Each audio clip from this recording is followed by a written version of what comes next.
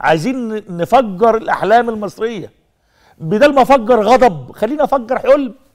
بدل ما أفجر قهر وحقد وكراهية خلينا أفجر حب وسلام وأحلام.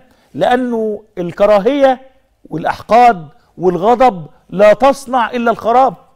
أما الحب والسلام والتعاون هو اللي بيصنع الأمل هو اللي بيبني بيبني نفوس الناس وبيبني أيضا أمم. خلينا ناخد قدامنا طريقين. طريق الإحباط والتشاؤم وطريق الأمل والتفاؤل. طريق الإحباط والتشاؤم فيه كراهية وفيه أحقاد وفيه انتقام.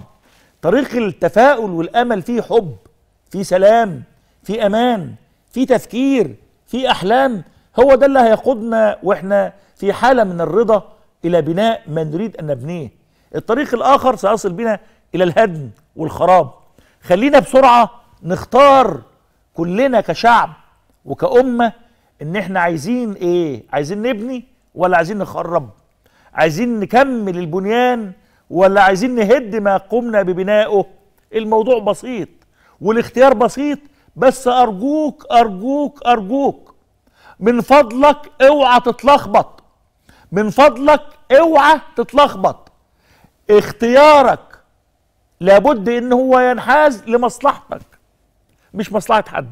ومصلحتك إنك تختار الطريق اللي فيه بناء وفيه إنجاز وفيه تحقيق أحلام حتى لو كان الطريق صعب حتى لو كان الطريق غير ممهد حتى لو كان الطريق في مطبات تاني أرجوكم أرجوكم أتوسل إليكم. اوعوا تتلخبطوا. لأنه في ناس كل همها في الحياة إنه يلخبطك.